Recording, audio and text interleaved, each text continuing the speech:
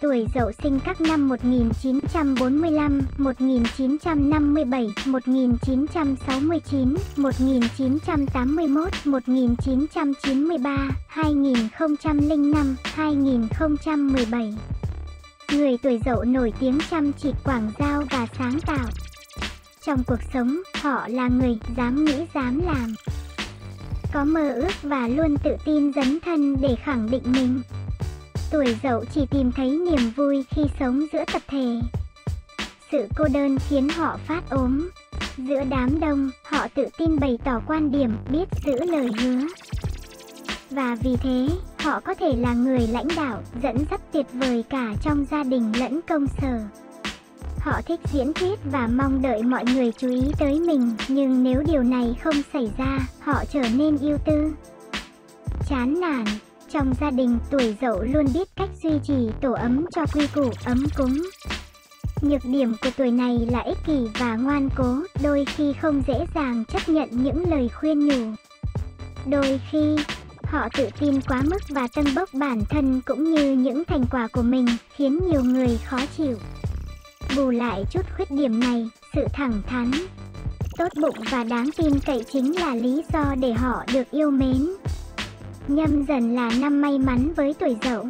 Không chỉ kế thừa và tiếp nối vận may của năm trước vận trình tuổi dậu năm này trên đà thăng tiến.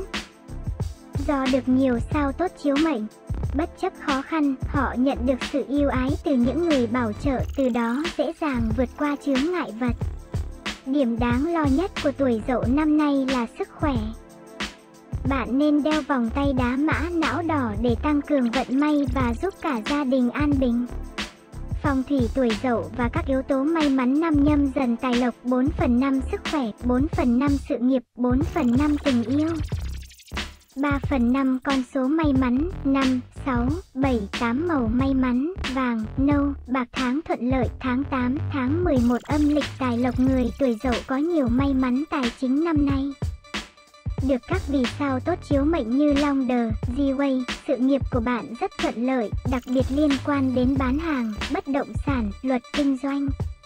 Được quý nhân phù trợ, bạn cũng có cơ hội tốt để phát triển bản thân, có thêm tiền. Đối với những người ở vị trí cao tài năng lãnh đạo được phát huy hiệu quả. Những người muốn thay đổi công việc có thể biến kế hoạch thành hành động, Tuy nhiên, sự xuất hiện của sao bao bai một sao xấu có thể gây xui xẻo nhất định khiến bạn hao tài tốn của. Nếu bạn làm kinh doanh tuyệt đối không nên tham gia các dự án đầu tư rủi ro cao. Nếu không, doanh nghiệp của bạn sẽ mất tiền. Nữ tuổi dậu nên đeo vòng tay đá citrin vàng mặt tuổi mình để có phong thủy tốt tài lộc dồi dào. Nam đeo vòng đá mắt hổ dấu hiệu tuổi mình, tình yêu và hôn nhân dù sự nghiệp. Tiền tài của tuổi dậu tốt trong năm nay nhưng lĩnh vực tình cảm chỉ ở mức bình thường. Các ngôi sao có lợi cho vận đào hoa đều không xuất hiện khiến may mắn không mỉm cười với người độc thân.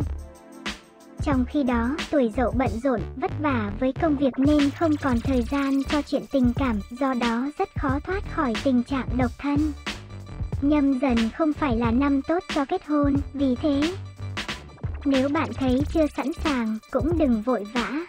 Trong gia đình, ảnh hưởng của sao bao bai có tác động lớn đến các mối quan hệ của tuổi dậu. Người đã kết hôn lạnh nhạt với bạn đời, trở nên thiếu gần gũi với họ. Nên lưu ý, đây là giai đoạn kẻ thứ ba rất dễ xuất hiện. Bạn nên đeo vòng tay thạch anh tím mặt tuổi mình để thu hút vận may và giải quyết khủng hoảng tình yêu, hôn nhân. Sức khỏe vận trình sức khỏe tuổi dậu có xáo trộn trong năm nay do sao tiên e gây tác động. Nếu không lo cho bản thân, bạn dễ ốm đau. Hung tinh yang gen và sa song chiếu tới. Gây nguy cơ chấn thương, phải phẫu thuật. Điều may mắn là các sao tốt như G-Way và Long Đờ giúp hóa giải vận rủi, giúp bạn lấy lại cân bằng. Nếu muốn cải thiện vận may sức khỏe, bạn có thể đeo các đồ phụ kiện theo nhóm tuổi mình. Nếu thường xuyên lái xe, bạn nên đeo treo mặt dây chuyền tỳ hưu đá mắt hổ để cầu may mắn tử vi các tuổi thân năm nhâm dần ất dậu 1945. 2005 Ất Dậu có một năm quan trọng về các mối quan hệ gia đình, họ hàng.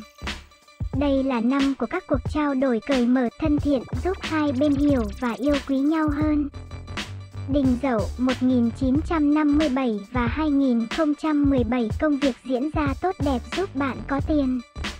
Tuy nhiên, bạn nên chi tiêu hợp lý, thận trọng vì có thể giai đoạn kiếm tiền tốt chỉ ngắn ngủi. Kỷ Dậu 1969, năm của các chuyến đi ngắn, các cuộc thảo luận với người thân, bạn bè. Tân Dậu 1981 năm nay mang đến các cơ hội kiếm tiền từ công việc chính, giúp bạn trang trải chi phí và có một khoản tiết kiệm. Quý Dậu 1993, sự hỗ trợ của bạn bè, đồng nghiệp giúp bạn dễ dàng bước vào các dự án mới và thêm lợi nhuận tài chính. Những thông tin chú ý khác chúng tôi sẽ cập nhật bài viết lần sau. Rất mong sự ủng hộ của các bạn. Chúc các bạn vui vẻ. Xin chào, chia sẻ hữu ích nhé.